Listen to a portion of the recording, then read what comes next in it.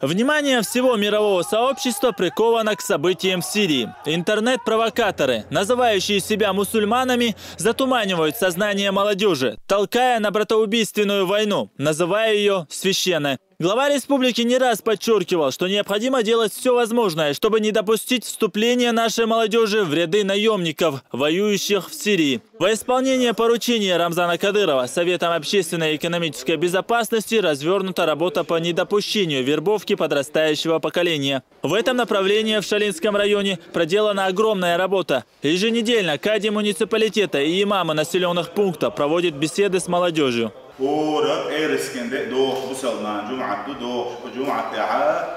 دائما نبيش هي خمبو. هي خم دائما لا تربولش بوت. أه، أحيو لام دشكع. وين مخأرة أتحيو لام زي حق. دقو أه، كجي ناخ كجي جوار لام زي دوخ دو حق. هيتسل تكحت ووتو كحت بالجلالة هيتسل أول كيلشن رجع أول تايل بالجلالة Встречи проводятся и в школах с учащимися старших классов. В основном им объясняют истинное значение слова «джихад». Помимо этого, жителям раздают печатные материалы, буклеты, где разъясняется вопрос ближневосточного конфликта, где отсутствуют национальные и религиозные интересы. Администрация здания Чуаха и Междик Чуах.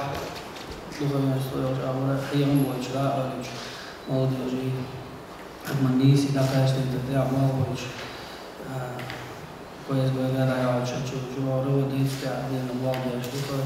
Ведется просветительская работа среди населения через средства массовой информации, районные газеты и телевидение. Созданы видеоролики, но самый лучший способ – воспитание в семье. Мы